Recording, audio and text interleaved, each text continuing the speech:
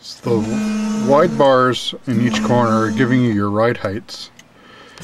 There's other numbers next to them which are giving you the cylinder pressures for the uppers and the lowers. You have your compressor off indication which is controlled by your joystick.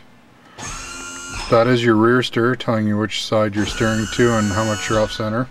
We also have an auto center button. And above that, the little number is your work tank pressure, which is more or less your main feed for all your air systems on the CMS system. We also have other menus that you can go into. Uh, cross tilt, this is all up, all down, just with a simple maneuver of the hat switch on the joystick. This is manual if you want to override. Uh, we also have a crossover as well, so if you're on off, um, off camber or side hilling for a long period of time, and these are a crossover, so the, your suspension will automatically feel what the terrain is doing and keep the vehicle as level as it can.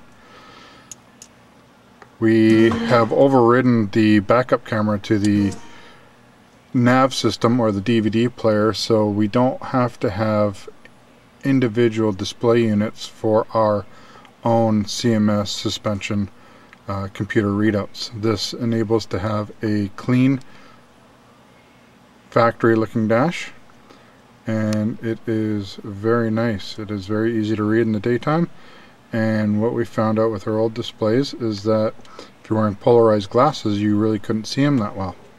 So this is our system and uh, we hope you take a look at our website at gocms.com.